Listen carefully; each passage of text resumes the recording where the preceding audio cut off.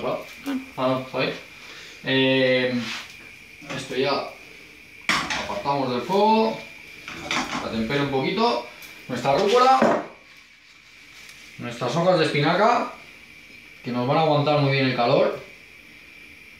A mí me gusta a veces jugar un poco con ese contraste de, de algo caliente encima de la ensalada. Es muy típico aquí en Inglaterra, pero hacen, bueno, yo a mi, a mi humilde opinión, hacen un poco unas barbaridades a veces. Directamente pues cogen y echan Vale, pues ya tenemos esto aquí. Vamos a coger esto queso de cabra, lo sacamos del horno, lo dejamos aquí, lo cogemos con una cuchara y vamos a, a darle un poco. Como veis, no estoy echándolo todo porque también este aceite tiene bastante grasa del bacon.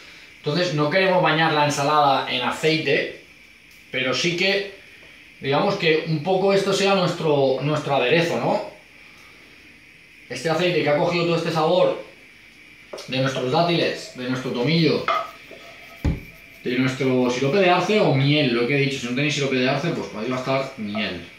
Sirope de arce yo sé que es un poco caro, para que no me quede mi pan. No, está perfecto. Ya, ya los ponemos todos aquí un poquito cojan un poquito de calor otra vez, de color. Apagamos esto también y ya está.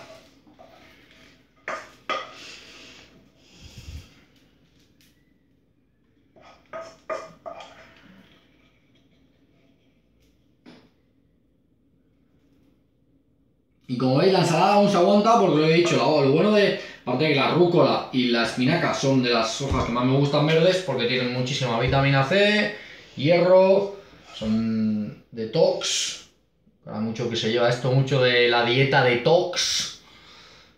A los que estéis haciendo dieta detox ahora en enero para quitaros todo lo que habéis metido en navidades, pues ya lo sabéis. Con mucha rúcula y mucha espinaca. Como veis, ha quedado aceite aquí. No vamos a bañar esto. Pues ya lo tenemos casi, señores. Vamos a poner nuestro quesito de cabra. Como veis, aún se aguanta, pero está perfecto, está calentito.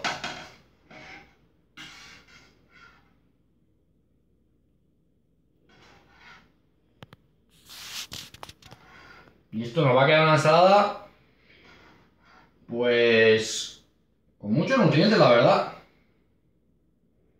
Como veis es para dos, para mí y para mi preciosa esposa, que ella pues también tiene buen comer, los que la conozcáis. Sabéis que es una chica bastante alta, una chica alta. Las nueces. Las nueces las podríamos haber salteado, pero bueno, queremos un poco... Esto... Las rompemos un poquito.